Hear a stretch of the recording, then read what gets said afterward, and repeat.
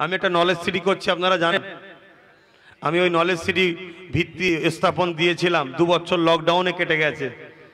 কথা বুঝে আসছে? তারপরে কাজ চলছে। আমি যদি খুব শিগগিরই ডাকি, খবর পেলে একটু যাবেন তো? বলুন না ইনশাল্লাহ ওই দিন একটা তোহফা দেবো আর একটা তোহফা শুরু করব ইনশাল্লাহ খুব শিগগিরই খবর পাবেন। আমার দুটো নম্বর বলছি লিখেলেন এই দুটো নম্বরে হোয়াটসঅ্যাপ আছে। জেনে যোগাযোগ করে যাবেন, ভুলভাল খবর শুনে চলে যাবেন না। কেন আমার নাম অনেকে মিথ্যা প্রচার চলে? আমার অজকে কেটে কেটে ভুলভাল ছড়াই কথা বুঝে আসছে না? মনে রাখবেন, যার যাকে ভালো লাগে ধরে থাকুন।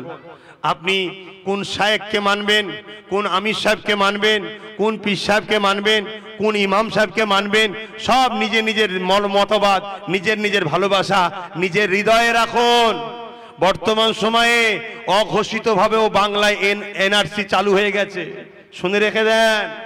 মানুষকে বাঁচাবার স্বার্থে বলছি, গুজরাটেও এনআরসি চালু করে দিয়েছে, এখানে অঘোষিত ওখানে অলিখিত ওখানে লিখিত ভাবে এইভাবে মানুষের নাগরিকত্বকে কেড়ে নিয়ে মানুষকে দিশে হারা করে দেবে। যখন তোমার নাগরিকত্ব থাকবে না, তোমাকে হত্যা করল, জাতীয় সংঘ চুপ করে থাকবে, যেটা মায়ানমারে ঘটলো। তাই আমি বলব, আপনাদের হাত জোর করে বলছি, নিজেদের মধ্যে আর ওই মতবাদ দলাদলি, আমি এই হুজুরের, আমি এই শায়েকের, আমি এই ইমামের, আমি এই মাঝাবের এসব লিয়ে আর দলাদলি করেননি আল্লাহর হস্তে বলে যাচ্ছি হ্যাঁ আব্বাস সিদ্দিকি, আজ থেকে পাঁচ বছর আগে চিন্তা, আজকে চিন্তা এক করে দেখবেন না। পাঁচ বছর আগে আমার চিন্তা আলাদা ছিল, এখন চিন্তা আলাদা।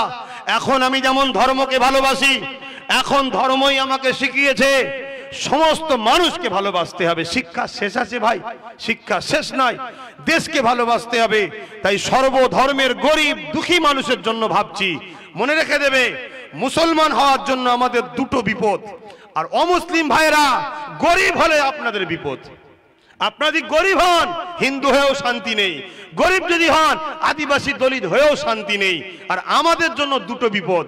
মুসলমান হওয়ার জন্য একটা বিপদ, আর আমরা গরিব তো হান্ড্রেড পার্সেন্ট তাহলে আমাদের জন্য দুটো বিপদ। আর আমার অমুসলিম ভাই, আপনারা মনে করবেন আপনাদেরও বিপদ আছে, গরিব যদি হন। তাই প্রত্যেকটা গরিব অমুসলিম ভাই আর মুসলিম এক হয়ে মিলেমিশে কাঁধে কাঁধ মিলিয়ে চলো। না হয় যে বিপদ তোমাদের উপরে আসতে চলেছে, তোমরা কুল কিনেরা খুঁজে পাবে না। বিশেষ করে নদিয়া, মুর্শিদাবাদ, মালদা, এই বর্ডার লাগোয়া এলাকার মানুষরা আরও বিপদে পড়বে, আরও বিপদে পড়বে।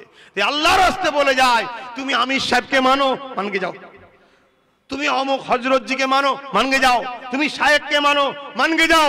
আমি মানি জবানার মুজাদ্দেদ পীর আবু বকর সিদ্দিক দাদা হুজুরকে। তুমি কোন মাযহাবে যাও? আমি ইমামে আজম আবু হানিফাকে মানি।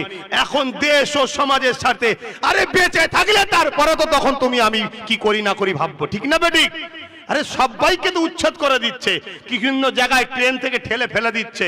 এই মালদায় ফেলো, মুর্শিদাবাদে ফেলল, বিভিন্ন জায়গায় ফেলল। এই জিজ্ঞেস করেছে নাকি, তুই কোন মাঝাবের এই তুই কোন সেলসেলার? তুই কোন ধর্মের? তুই কোন পীরের মুরিদ? এসব জিজ্ঞেস করে ফেলেছে। অতএব মিলেমিশে থাকেন মিলেমিশে থাকেন মিলেমিশে থাকেন। আমার অনুরোধ রইল আপনাদের কাছে, এখন পরিস্থিতিটা দেখুন কি চলতে লেগেছে। এটা আপনাদের কাছে আমার অনুরোধ। আল্লাহ আমাদের সকলকে সৎ বুদ্ধি